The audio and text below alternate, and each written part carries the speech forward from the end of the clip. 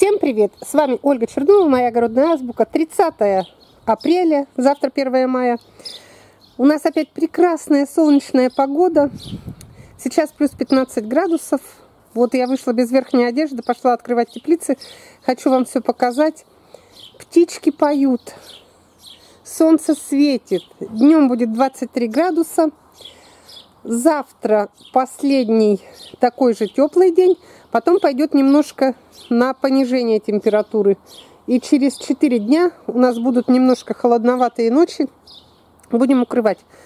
Как будто и не было вчерашней вот этой бури, урагана. Все тихо, умиротворение. Ну, как вы видите, вот эту пленку вчера даже сорвало. И ее не было возможности снова накинуть. Я не стала ничего делать, потому что ни мороза, ничего не было.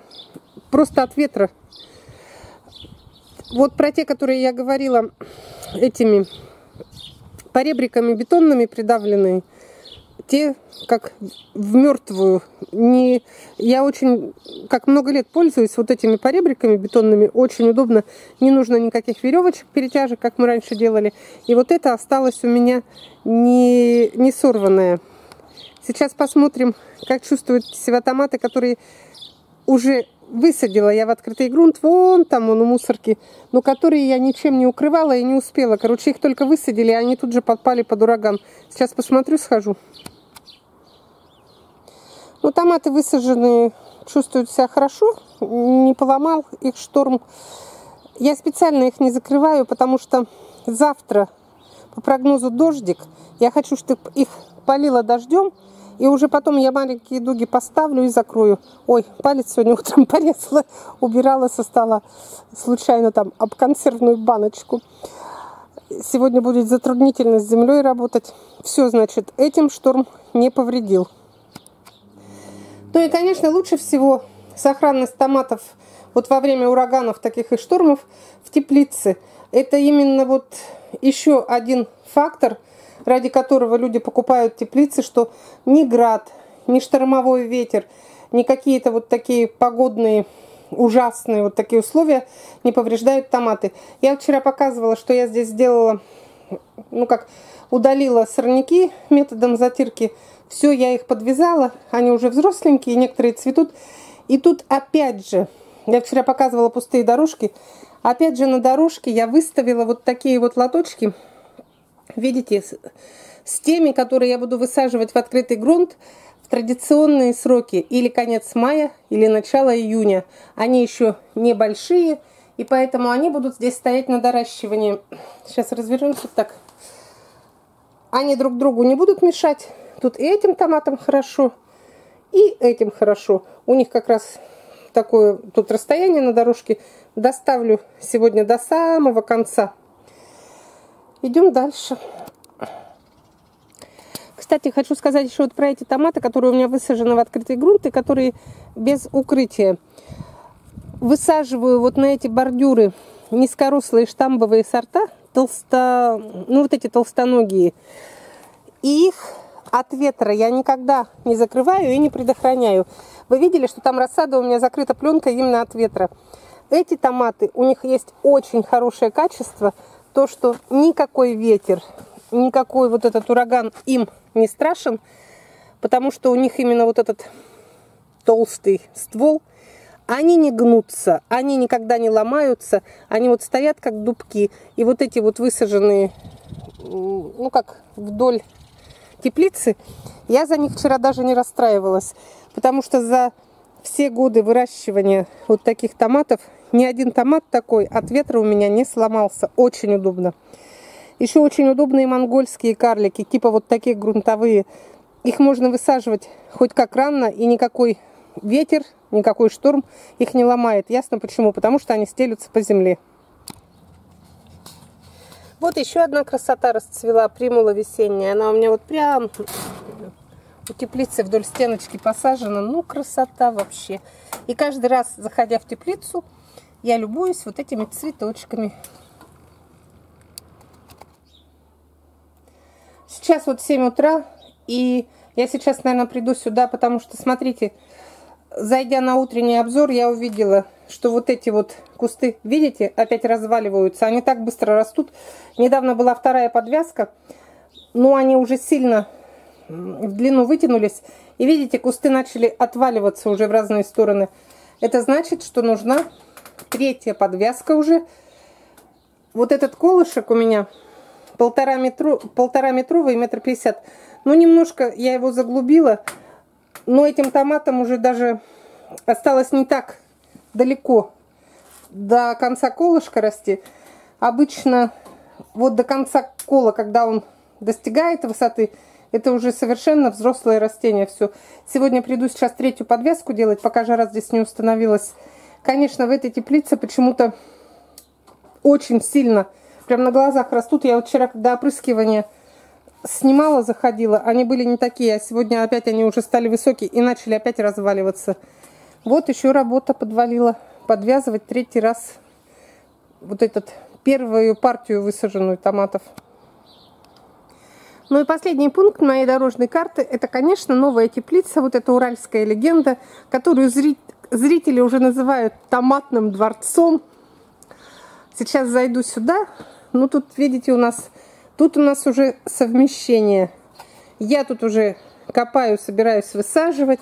Они тут еще доделывают.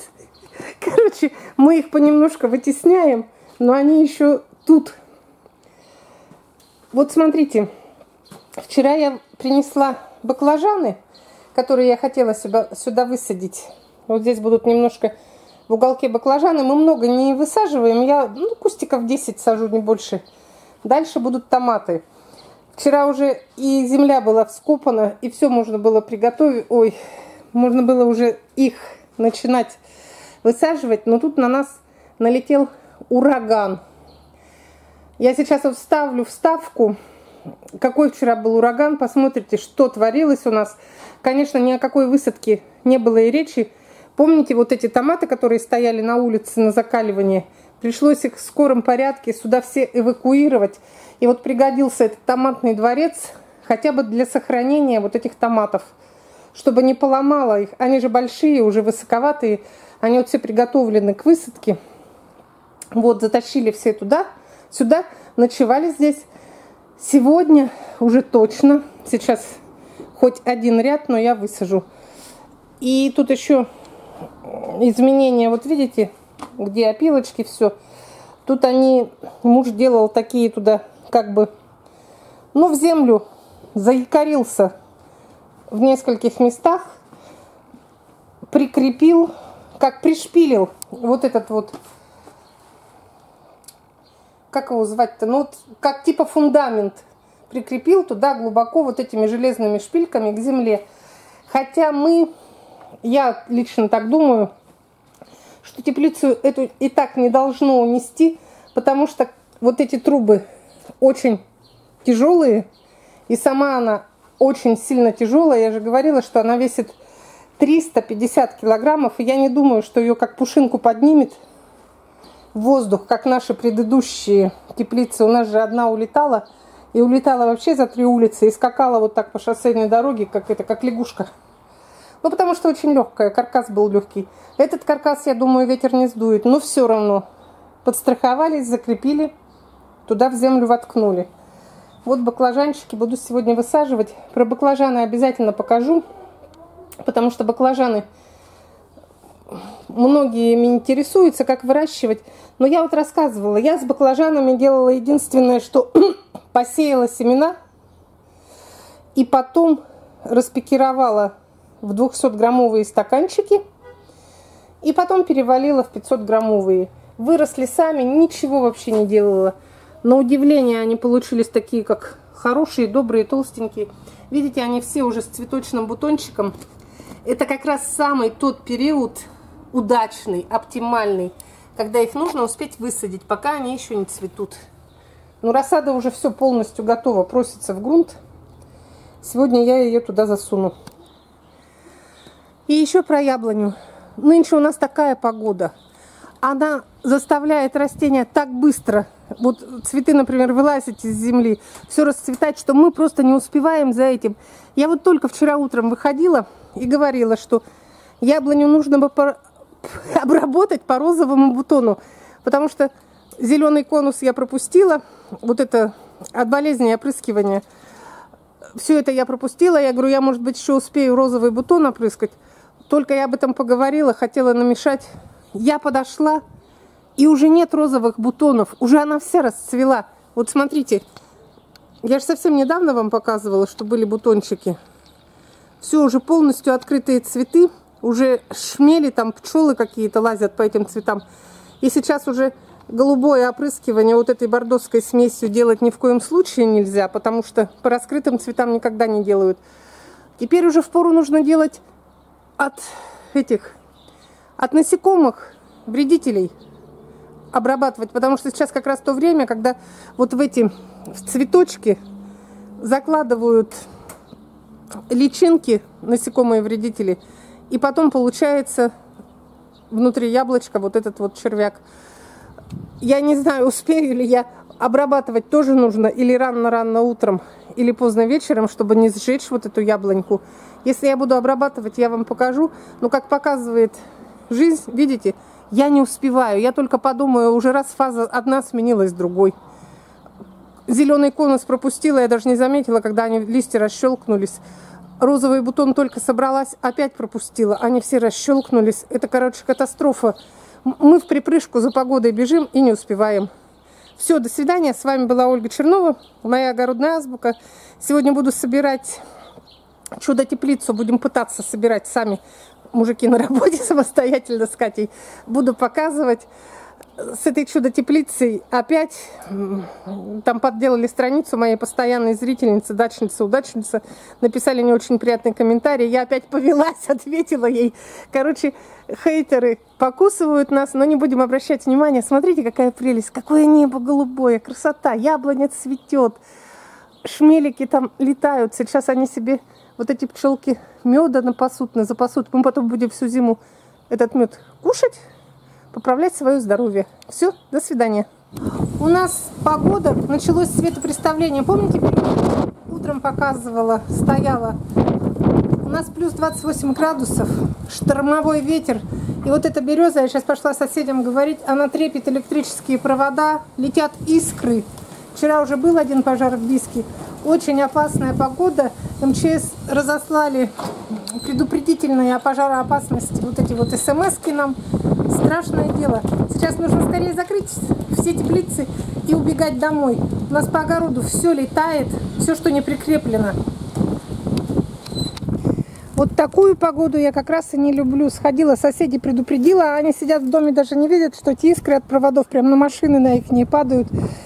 И пока я там ходила, бродила, у меня тут все повылетело эти. Вот видите, где бетонные вот эти поребрики, они намертво держат. А где просто дуги или укрытие, это вот нужно все чем-то фиксировать. Иначе э, температура-то, как сказать, не это, не холодная. Просто эта тряпка, она будет вот так трепаться, она побьет все помидоры. Вот сейчас буду закрывать теплицы, убирать все, что можно. Там от ветра спасать, где ветра нет.